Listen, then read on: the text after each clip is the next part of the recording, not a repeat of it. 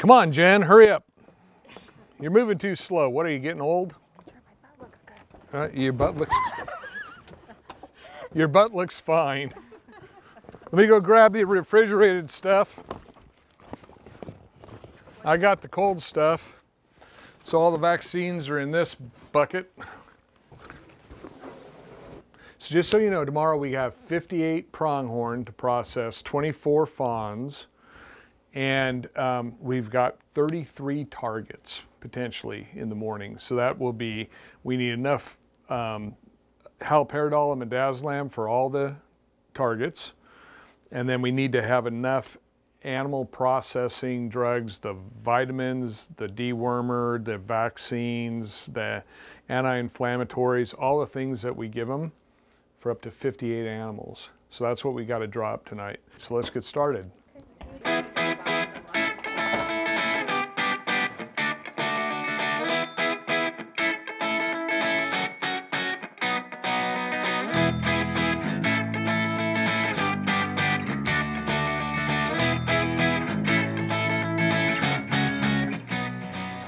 The snoring pronghorn is amazing. It's been, um, they, they were first listed as endangered in 1967, and we enjoyed a great population of these guys until 2002, where we had this, you know, the United States anyway, had this population pretty steady, around 120, 130 animals. It, we, we had this horrific drought in 2002, and that those animals, just so you guys know, dropped to under 20 animals. And you can't breed yourself out of extinction with 20 animals. There's no way they're going to make it. So we decided we're going to start breeding these guys. We're going to start getting them to a um, a number that that could be self-sustained. The only way we could do that is actually go in the pronghorn business we built a pen, a predator-proof pen, and we started putting pronghorn in there to breed. And we made baby pronghorn for a living. I think that this is, next to the peregrine falcon, one of the most successful, in my mind, most successful endangered species recovery programs that has ever occurred because we took less than 20 pronghorn to over 300 pronghorn. And in fact, this year, we're taking pronghorn back down south to Mexico to be released um, because they lend us so many pronghorn to get us started on this. So it's to me, it's it's a um, it's just a giant success story. And here we are sitting in a little crappy hotel in Ajo, Arizona, getting ready to make more pronghorn go home or repopulate the United States population of pronghorn. That's why I keep coming back. North Beaumont, where we're going to start today. And so you want to carpool as much as possible, just to minimize traffic.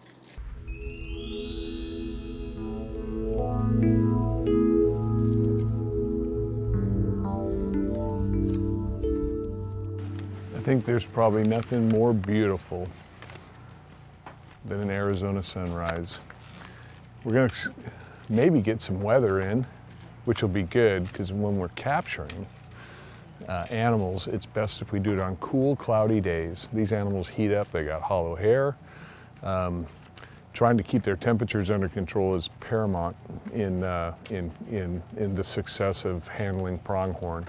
And, and right now, um, we've got a nice cloudy morning and an absolutely beautiful sunrise. One of the most important things to consider is which hat to wear, because I wear a lot of different hats all the time. I don't know if I should wear that hat. Or this hat. Maybe I should wear this hat today. Or that hat. Or this hat. I, am just really confused. I'm, I'm gonna try to wear, I think I'll... It's gonna be a sunny day. I think I'll wear this hat today.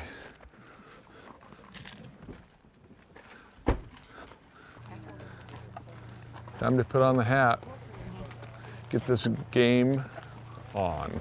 Are we ready? We are ready.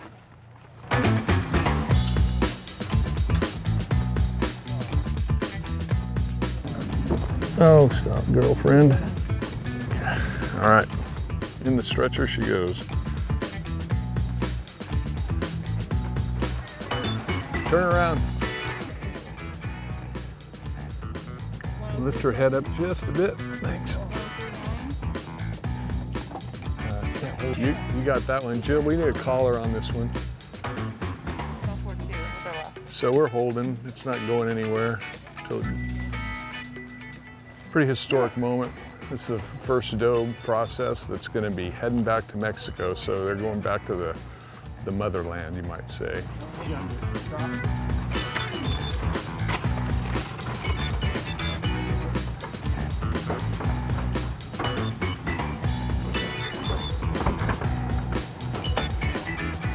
One down, five to go. Mexico, here we go.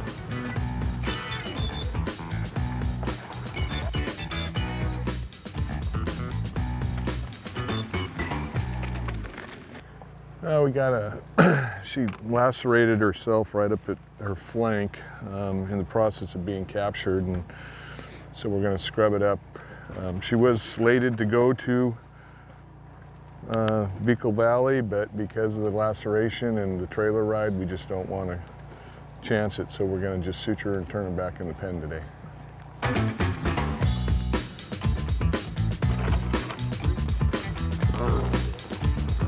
Gonna do the funky chicken.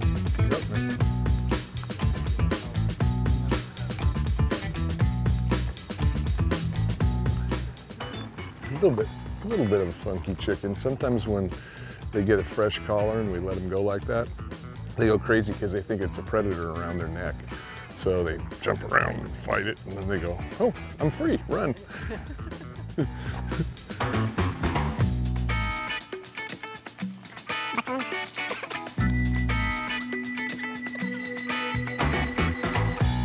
he doesn't have a vein on this side. We go over the, the bloodier side. And just get this kind of soaked into her. This way you won't get ticks.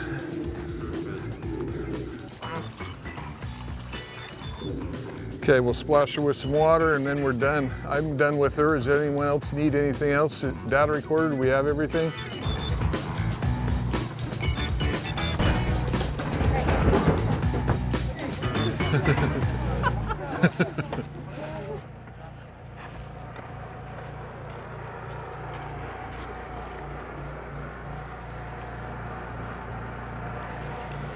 Well, the truck is off to Mexico. Six pronghorn going home. A veterinarian chasing them. Hopefully the vet will catch up to the pronghorn. Hopefully there won't be a problem where we need a veterinarian. So, buena suerte, my friends.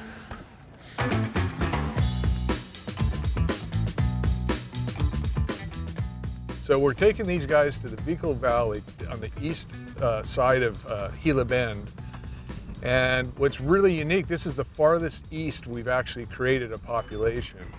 And I find it amazing. I think we're talking now seven or eight different isolated populations of Sonoran pronghorn, which is really important because if we have just one big population, a disastrous event like a drought or a disease process could completely wipe out, you know, at this point, almost 20 years of effort to recover this species. So the Vekol Valley is, is, our, is our new destination with these guys. So they are going to start a brand new population uh, in historic ranges of the, of the Sonoran pronghorn. And for that reason, I'm pretty darn excited about it.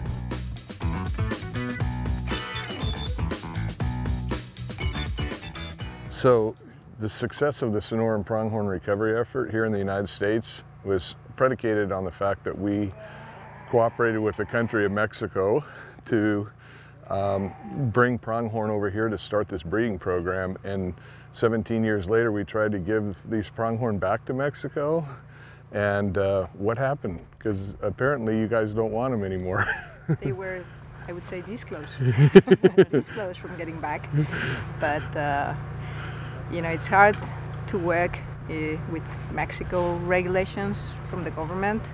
Uh, you know, I don't know, 20 years ago it was probably easier. Now these days bureaucracy is a nightmare. Yeah. Uh, really, there's no other word. And they got one of the premise that was missing was just the issue about the tax departments, the regulations. that And- one, that held it all up. Yeah, wow. yeah no, not the diseases, not something that was really important. Yeah. Wow, because they even not, you know, this is a donation. They are not even, no one is commercializing them. Yeah. So why? Can't- why, why, do you need a, tax, a like, tax hey, document? You know, it's like, no, Man. Well- this is the regulation, and then you have to do this and that, and it takes 72 hours, and we can't hold the animals over there. So Well, don't worry. We'll pay you back in interest for next year then. But we'll get those pronghorn back so. to Mexico soon thanks enough. I am aware you, you tried. There you go. Now you're thinking. Now you're thinking. It wasn't all bad because we did translocate these uh, pronghorn that were supposed to go to Mexico back into another population in Arizona. So I, I guess it all works out in the long run, but uh, the, the, the end result is we can't give away pronghorn to Mexico anymore.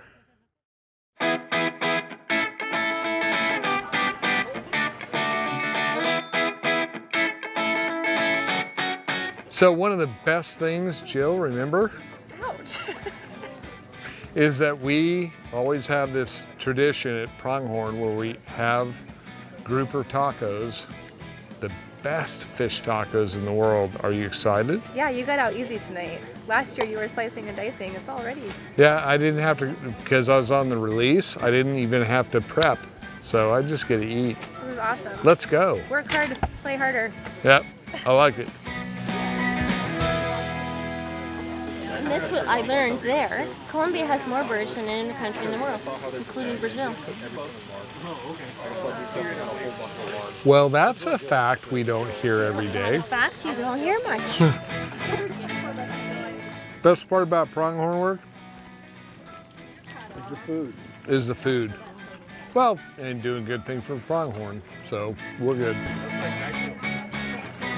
Oh, you dead. Well, here we are, day two. Got maybe maybe another 30 pronghorn to process. These are going to be translocated to the Marine Range near Yuma. It's a beautiful Sonora Desert morning. Sunrise is awesome. Temperatures are perfect. Let's get to work.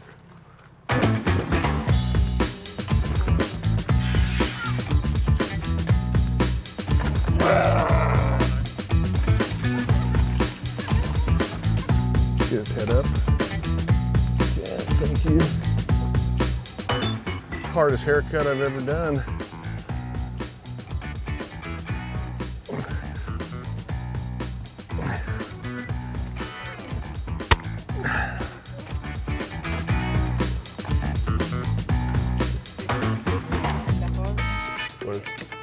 Whoa!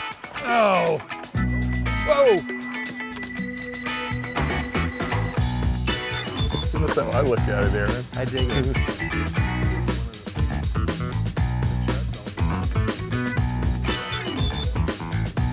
Let her go. Look, you got a brand new collar, brand new necklace. Not, e- not even Valentine's Day yet. Oh, run away. Run away.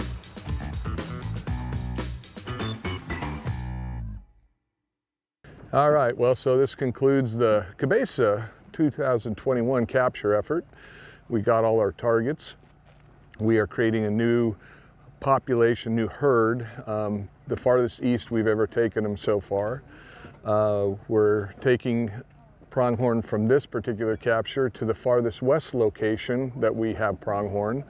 So we're really kind of uh, splitting the compass in all different directions. We had zero human morbidity or mortality. We had zero pronghorn morbidity and mortality, and that is always the goal and, and, and a real bonus. So, you know, handling pronghorn is very difficult, probably the most difficult ungulate species in the United States to handle, and we did it expertly. and we did it professionally, and we did it with a little bit of fun involved too. So uh, we're going to see that population continue to grow due to the fine efforts of all these people involved, all the agencies involved, and all the people involved. And I'm really happy to be able to work with a, a great group like um, the folks I've been working with for the last couple of days.